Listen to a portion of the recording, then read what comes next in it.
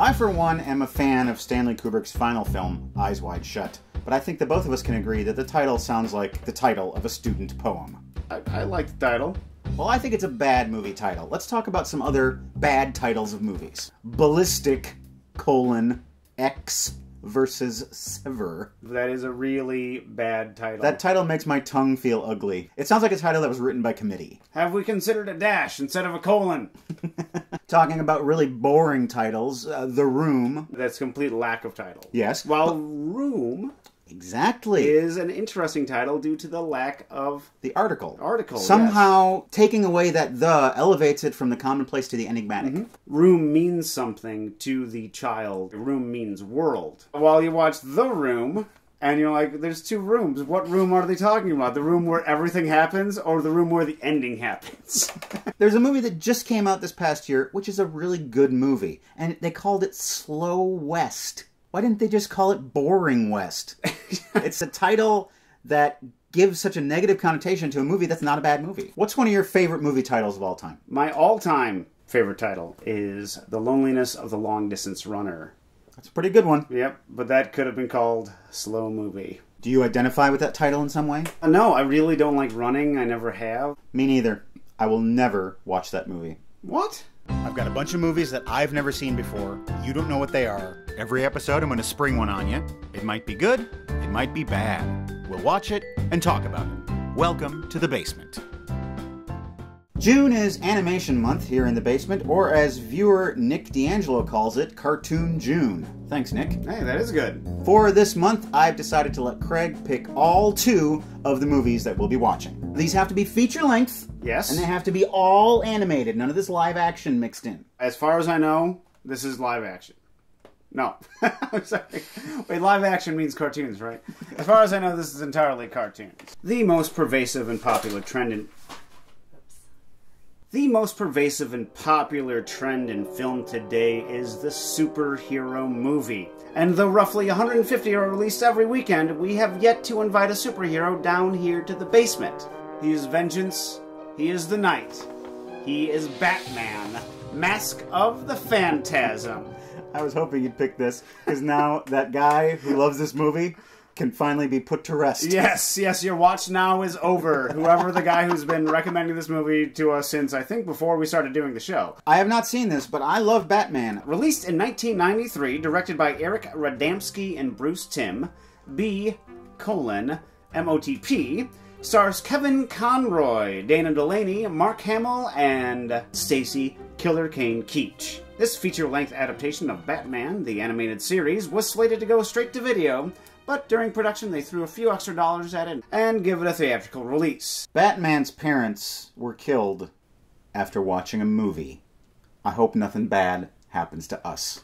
Or after an opera. There's so many different versions of No, it was, it was a movie. Mark of Zorro, I think, was the movie that Oh, that makes most sense. popular on the marquee in the various uh, Batman mythologies. All right. Joe Chill is the man who killed the, the Waynes. If you look to your left, there is a box For me. for you. Now, we're going to be learning more about this night you love so much. I thought you might like to learn a little bit more about a different night. Oh, a Green Knight. A book. Yeah, and Sir Gawain. I don't care about him. All I care about are the knights. Well, why don't you move the statue on the mantelpiece and wait for the door to slide and then jump down the pole to get to the Batcave, which we call the old leather couch, to watch Baskman. Baskman. It's going great. He's a Basque separatist. Uh, Agora ETA! to watch Batman, a Mask of the Phantasm. Etc. Etc.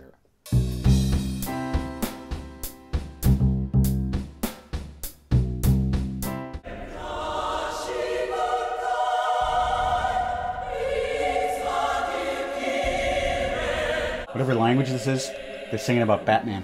Coming through the night, gonna make things right. That's what. That's how. That's the translation. it's nighttime in Gotham City. Chuckie Sol is looking to launder some counterfeit money through the casino when his little illicit meeting is broken up by Batman. He comes in and does his thing. He goes, throws the things around. Chuckie Sol escapes, He makes a run for it out to the parking garage. but then he sees a shadowy figure. But it's not Batman. It's the Phantasm, and he's out to kill the bad guys. He says, Your angel of death awaits. The Phantom It's Phantasm. kills Chuckie Sol.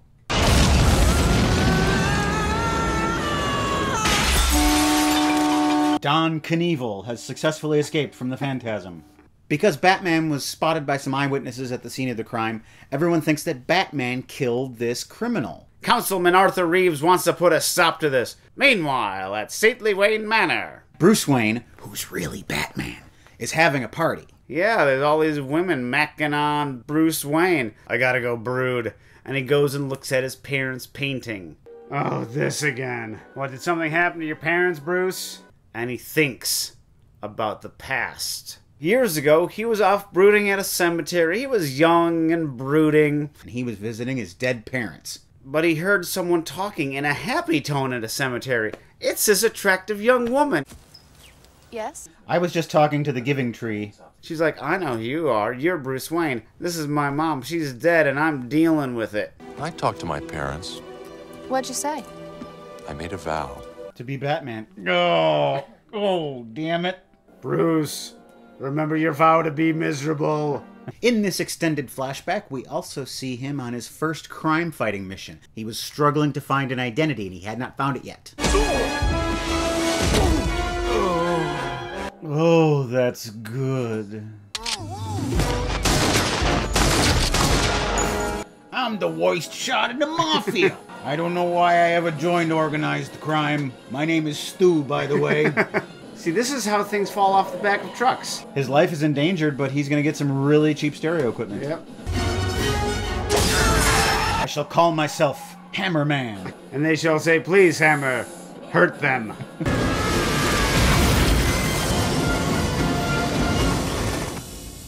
I'll call myself the truck stopper. A few days later, he's in the backyard practicing his jujitsu. Who should show up but the lady? She's like, It's been three days, you didn't call. I thought I'd just break into your property. And hi ya! Look at that, I can do this too. Why don't we just kiss each other here on the lawn like rich people do? He moves really, really fast. They have talked together for a total of two minutes. Roma, Romaner, Romaner. I do not know what that means. Pro Marner, the Marner. I can't read my own writing, folks. Back in the present, Buzz Borowski, another criminal element, goes to visit the grave of Chuckie Sol. You guys wait here. Whatever you say, Mr. Bronski. Mr. Bronski, uh, Bill Brasky. I saw him punch a hole through a cow just to see who was coming down the road. when he is set upon by the Phantom. Phantasm. Your angel of death awaits. The Phantom's voice makes it sound like he should have a friend named Davy. he runs through the cemetery as fast as his tubby little legs will carry him, but he can't outrun the Phantom. Phantasm. He falls into an open grave and is crushed by a giant tombstone. Sal Valestra finds out that Buzz died, and he's like, oh, this isn't good. I've got to be next. Batman is investigating the cemetery. Why does he need to go to the cemetery as Batman? He's always at the cemetery mourning John Wayne. But he is spotted by Andrea Beaumont, and she puts things together. Wayne, Batman. Bruce? There's another flashback to the Gotham World's Fair. It's their first date. Bruce sees a car he really, really likes, and he starts thinking. Bruce, I'm talking to you. I've got an idea for a mobile. Just don't interrupt me. Andrea introduces Bruce to Mr. Beaumont. Her father. Uh, don't mind me, I was just leaving. Let me give you your wedgie and then you can be on your way. Things are going great until a Mr. Valestra arrives. Mr. Valestra has an appointment. At least it's not Mr. Olestra, because then I would be getting explosive diarrhea. And he has the unmistakable clothing and hat of a gangster. Is my shirt too big or is that my flesh crawling? Is my shirt too big or do I have chronic wasting disease? Outside, some thugs are attacking a man. Oh no, please, I think of my family. I got a three bambinos. Whoa, Bruce has some moves. Bruce continues to struggle with the shape that his alter ego will take. That mail order drawing course did me no good. Sure, I could draw a pirate and a turtle, but I can't craft an identity for myself. Bruce proposes to Andrea. I'm no good at this. Is my pocket too small or is there a thing in it? I hope it's a blood diamond, because blood comes from the heart. Ding! He's now the Batman. Old Mr. Valestra visits the ruins of the Gotham World's Fair. It is the lair of the Joker. Me Casa Nostra as Su Casa Nostra. Valestra says, You gotta help me. The Batman's coming to murder me. I'll give you $5 million if you protect me. The Joker says, Alright, sure, I'll help you. Or something fancy like that, and laughs a lot. Batman is visiting his old friend. And she seems to tip her hat that she knows his secret. The only one in this room controlled by his parents is you. I, I, I need to just. Now the Phantasm is ready to kill Mr. Valestra. The Phantom, Phantasm, stalks up on the unsuspecting Valestra. But he discovers that Valestra is already dead. The Joker killed him. And now the Joker knows that it's not the Batman, but it's this Phantom. Phantasm. That's been killing all the crime guys. Batman encounters the Phantom. Phantasm. Phantasm, whatever. But the police are there. They've come to arrest Batman. Prepare for tear gas.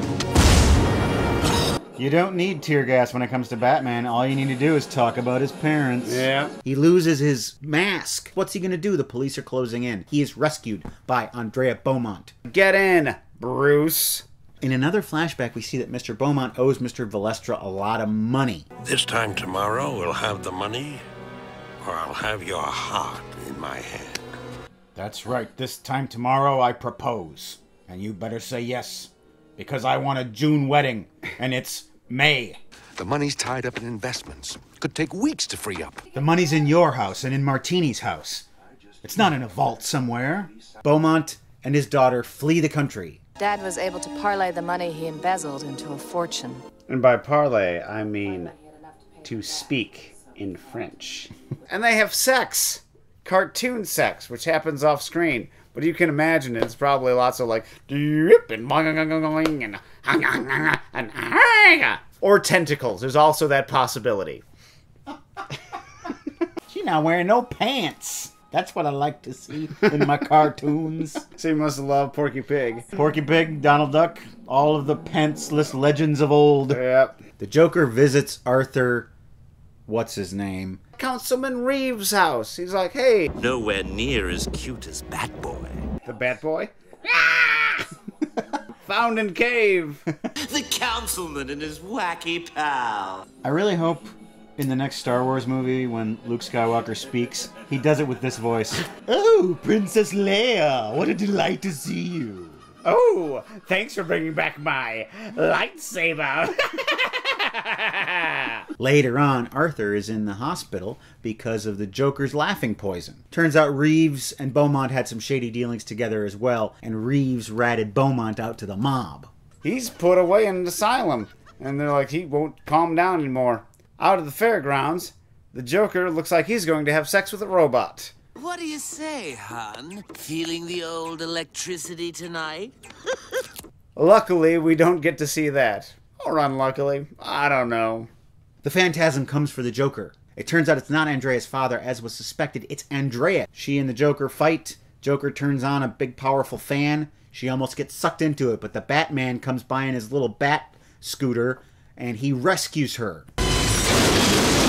Laws of physics defied. She hits her smoke cloud and gets out of there. Batman and the Joker decide to fight in this kind of model Gotham City. The Joker says, Ah, wee I have bombs all over this place and I'm gonna blow it sky high in five minutes.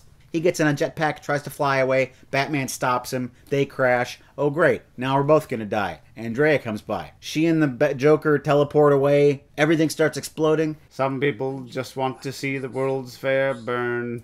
And Batman escapes through a sewer. I'll escape via the poo poo water. Bruce is unwinding at the end of the day, covered in a bunch of sewer stench. Alfred, the amount of wee wee and caca I've encountered today has been staggering. Batman is depressed. Andrea is dead. And he sees something glittering out there in the darkness of the Batcave. Oh, it's a little present from an old friend who I guess he'll never see again. And on a boat in the distance, we see that Andrea is still alive and alone. Oh, they're all so alone. Cut to Alfred polishing Batman continues to be Batman. Out there Batmaning. I want to share with you some uh, selections from the old comic book box here It's from back in the day. Batman's 600th appearance in Detective Comics, right here. We've got the novelization of the original Batman movie from 1989. Issue number one, collector's item, Batman Legends of the Dark Knight. These are all in mint condition, by They, the way. they are? Oh, yes. Two Frank Miller classics The Dark Knight Returns and Batman Year One. So I guess you could say that I'm a Bat fan. So, as a Bat fan, how does Mask of the Phantasm stack up to the rest of the canon? Did this feel like a movie to you, or did it feel like a long TV show? It really seemed like a long TV show to me, and that's really what it was originally going to be. And so it really felt as though there wasn't enough heft or weight to it. I liked the style of the artwork. Yeah. But the animation seems very cheaply made. When you say the animation is shoddy, but you like the style, how do you differentiate the two? The animation is how the figures move mm-hmm. And how motion is represented. The style is the still life, not a visual feast once action happens. Yeah, it's not a bad movie. No. There's one very annoying, very large plot hole, mm-hmm. and that is how does she have the ability to do this? There's a button on her hand. That's not good enough. Where does she get these powers and abilities from? They're never explained, and we don't even see the full scope of what her abilities are or what they do. You get one little bit at the beginning where she proves that she knows jujitsu. But the Phantasm never does jujitsu. She does have skills of some sort. Of some sort. She has a gas cloud. She can apparently transport instantaneously between two spaces. She's impervious to harm. But why and how? I'm not a stickler for explaining things in superhero movies, but Yeah, that seems like a pretty big thing. It came out right after Batman Returns. That would be the Penguin Catwoman one. I really hated that movie. It's not that good. I was fine with it at the time, but that's back before I realized it didn't have to be fine. And it was right before the uh, first Schumacher movie, which of course we couldn't compare it to, but I think Schumacher was comparing his movie to this because he would famously say on set, Remember, we're doing a cartoon. Okay. And this cartoon seems less cartoony than the two Schumacher movies. And I think this cartoon is better than Batman 2 through 4 of Yeah. the original run. And I'd say it's comparable to Batman 3 of the most recent trilogy. One thing that you kind of want to see some of in a Batman story is Commissioner Gordon. Mm-hmm. I believe he has one line in this movie. You want him, you get him. I'll have no part of it. He's very underutilized. Let's talk about this portrayal of the Joker. It is voiced by Mark Hamill of Star Wars fame. That's a movie that perhaps some of you have heard of.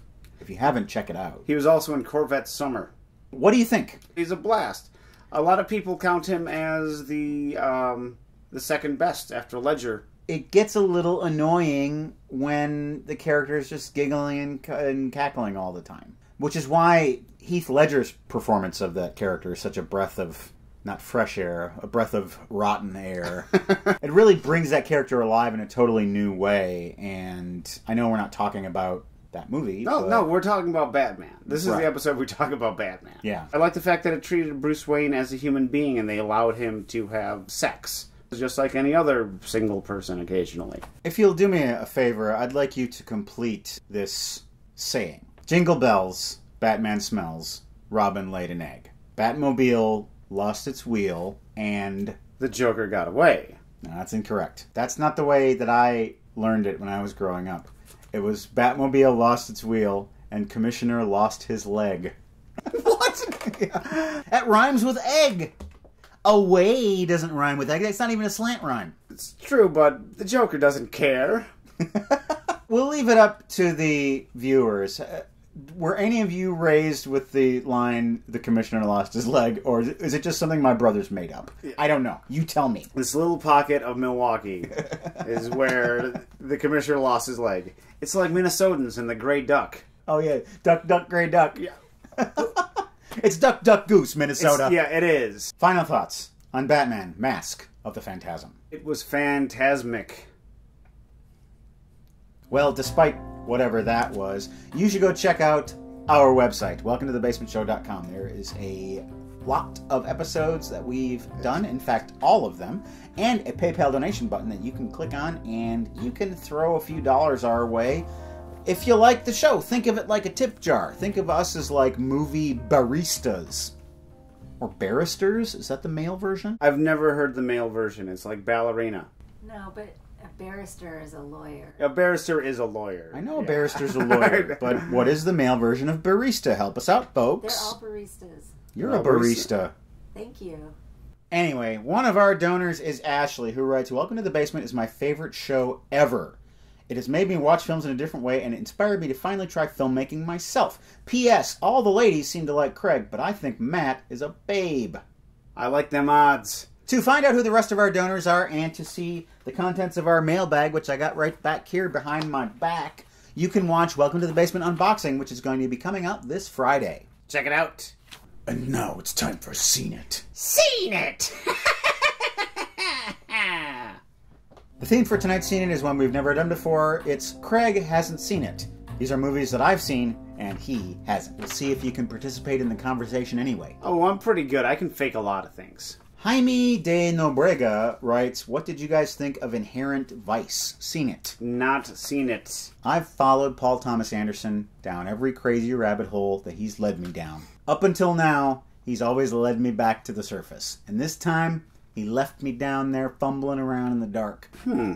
I'm not sure if it's because the source material is too dense and untranslatable to cinema. I'm not sure if it's just the performances or it just didn't all come together. I'm not sure if it's Joanna Newsom's spaced out narration where she sounds like someone at a poetry slam. I know it's going to be a daunting journey. No one's ever attempted filming a, Thomas Pynchon book. And if you look at Paul Thomas Anderson, he will go four or five years between movies. After The Master, he took a year and a half to transform a, Thomas Pynchon book into film. It's like, it, it seems impossible.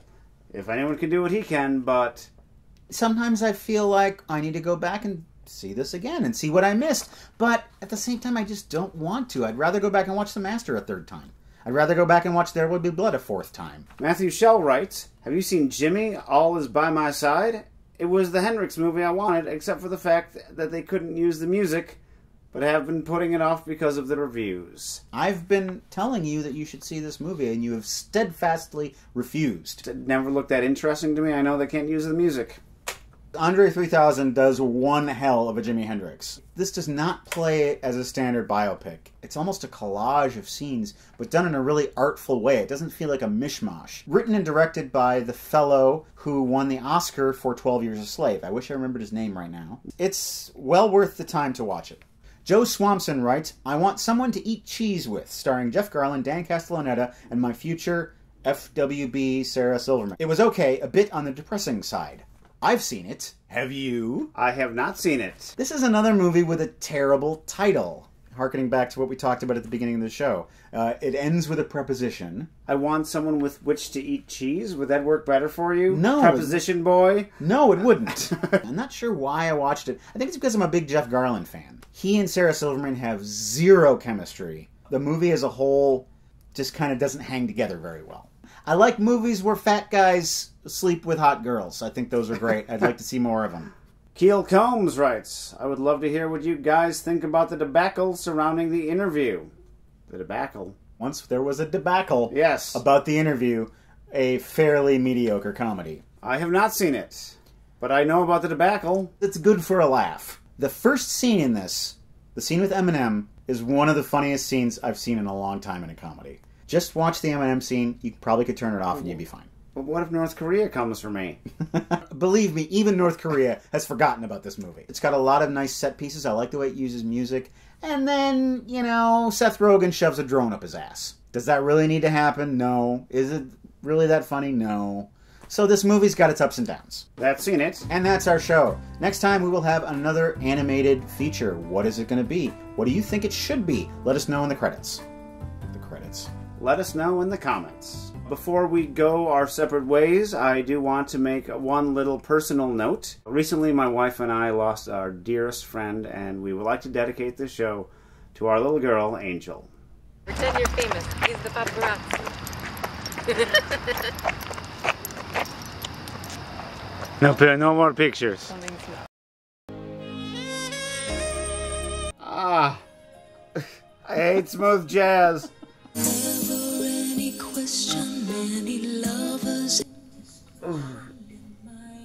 It hurts so much. Come man. on, man, get No, into I the can't. get into the bat groove. The groove is like boring a hole through my skull. Is my shirt too big or is that my flesh crawling?